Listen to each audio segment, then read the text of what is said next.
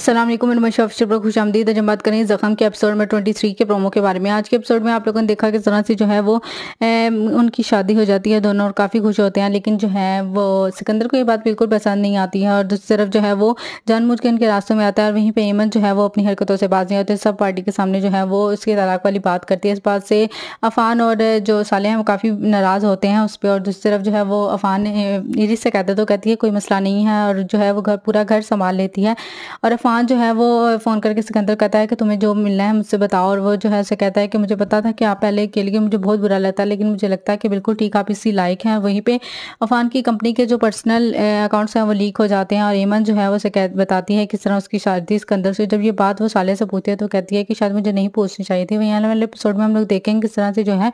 वो साहिबा कहती है सीमा को कि ये सब कुछ आपकी ही गलती है और आपकी वजह से ये सब कुछ हुआ। और वहीं पे सालिया जो है वो एमन से माफ़ी मांगती है कि मेरे बेटों की वजह से तुम्हें बहुत तकलीफ़ हुई है मैं तुमसे माफ़ी मांगती हूँ सिकंदर जो है वो अफान जो है उसे कहता है कि तुम जो है जो करना है तुम्हें वो करो और वो कहता है कि ठीक है खुली जंग का ऐलान है और एमन जो है वो उसके घर में बेहोश होती है और दूसरी तरफ़ जो है खाने की टेबल पे